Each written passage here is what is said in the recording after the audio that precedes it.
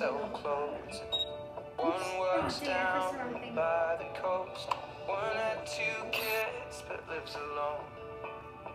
One's brother.